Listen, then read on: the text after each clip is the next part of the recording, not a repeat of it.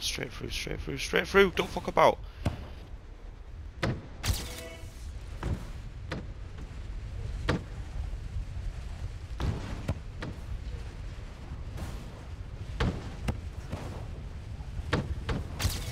Holy shit. Boom! I just smashed that gold medal time. wonder what the fuck author medal is for this shit. Um, either way, that were a really good time, man. Fucking hell, I just got a gold and then beat it straight away again on the next run. I feel like I could probably do that a little bit faster as well, you know. Um, yeah, a bit of a mad one, man. Let's have a let's have a look what the author time is. Fifty-two point two.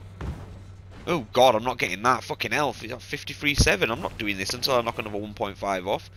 Nah, bollocks to that.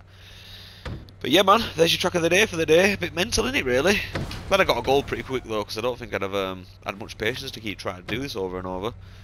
But yeah, top 200 England, top 25 Yorkshire. I'll take that. Take it easy, innit? Have a good one.